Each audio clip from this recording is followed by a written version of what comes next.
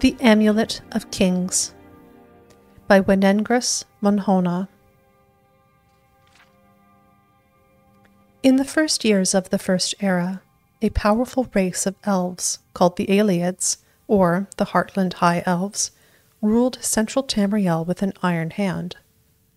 The high and haughty Ayleids relied on their patrons, the treacherous Daedra lords, to provide armies of Daedra and dead spirits.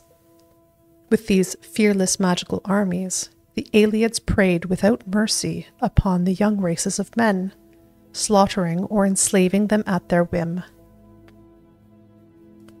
On behalf of the suffering human races, Saint Alessia, the first in the line of Cyrodiils, sought the aid of Akatosh, the dragon god of time and ruler of the noble Aedra. Akatosh, looking with pity upon the plight of men, drew precious blood from his own heart and blessed Saint Alessia with this blood of dragons, and made a covenant that, so long as Alessia's generations were true to the dragon blood, Akatosh would endeavor to seal tight the gates of oblivion and to deny the armies of Daedra and undead to their enemies, the Daedra loving Ayleids. In token of this covenant, Akatosh gave to Alessia and her descendants the Amulet of Kings and the eternal dragon fires of the imperial city. Thus does Alessia become the first gem in the Cyrodiilic Amulet of Kings. The gem is the red diamond in the middle of the amulet.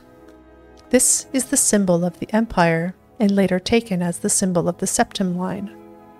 It is surrounded by eight other gems, one for each of the divines.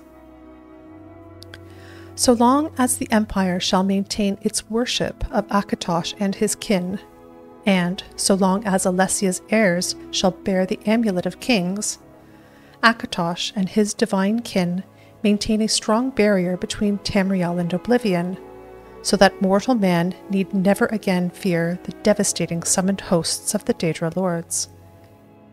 But if the Empire should slacken in its dedication to the Nine Divines, or if the blood of Alessia's heirs should fail, then shall the barriers between Tamriel and the Daedric realms fall, and Daedra worshippers might summon lesser Daedra and undead spirits to trouble the races of men.